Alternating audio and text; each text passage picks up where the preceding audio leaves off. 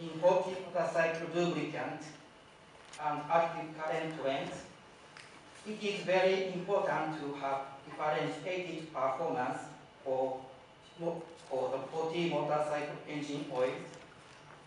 The engine oils should meet the requirement of three parts, engine, gearbox, and clutch.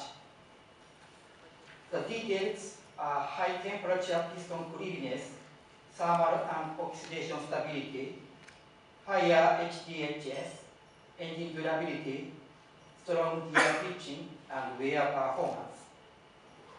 In addition to this 4T motorcycle engine oil, need to meet the specification of JASO T903 2011.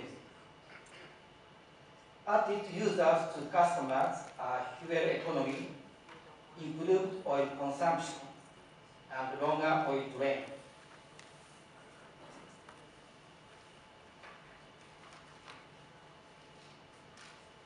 In the near future, 4T motorcycle lubricant will be expected to be changed.